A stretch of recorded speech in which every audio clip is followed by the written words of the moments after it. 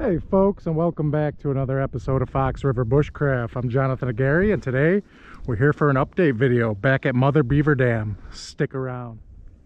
Alright folks, we're here back at Mother Beaver Dam. The dam's right over there where we broke it up last time and drained all the water back. All this was underneath water.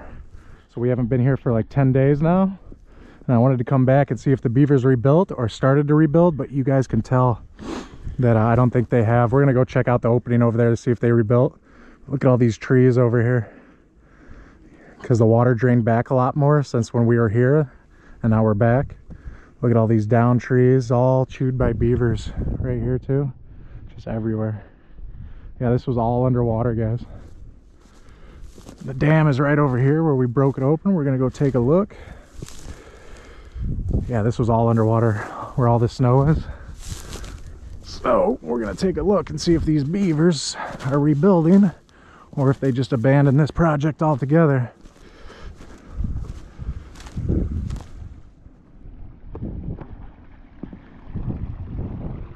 Look at the ice on the dam. It doesn't look like they're rebuilding here. I see one new fresh piece of material, but that's it. It doesn't look like they put anything else in here. You guys remember how, look at, from over there, that's where the dam starts comes all the way this way and all the way up to that high grass over there. So this was all underwater. It's good to see that the beavers haven't rebuilt this one. They probably gave up for the winter. You're like yeah let's rebuild it next summer. Look at this. This was all underwater guys. We did a good job.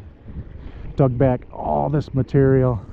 I had to stop when I got uh, like four feet down because you see I see that giant log right there going across that goes into one side of the dam and into this side. So I need a chainsaw to cut that one out. Yeah guys.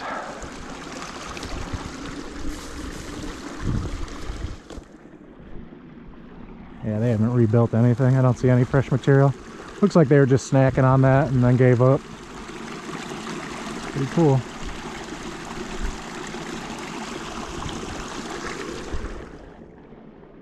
yeah i got a bunch of videos to film today. Gotta check this whole creek. It's cool to see my post still standing here. I tie my camera to uh, uh, sticks like this with bungee cords to get different angles. Yeah guys we did it. Did a good job in this location. We'll revisit this this one in the spring because i don't think they're going to rebuild here during the winter. All right guys i'll be right back with you all right folks we did a killer job in this location. Does not look like the beaver is going to be uh, building in this certain location during winter but we will revisit this video again in the same location when spring starts to come around because i don't think they're going to be doing anything with all the mud hardening and everything right here. So hey we did a good job here. They didn't rebuild. Yeah sometimes they just don't rebuild guys. A lot of people say oh they're going to rebuild that overnight. You know if you remove a dam couple times, you know, they're going to be like, you know what, this location's no good. You know, the material must not be good. Our dam keeps failing. So, and then they move on. Hopefully they move on out of this creek.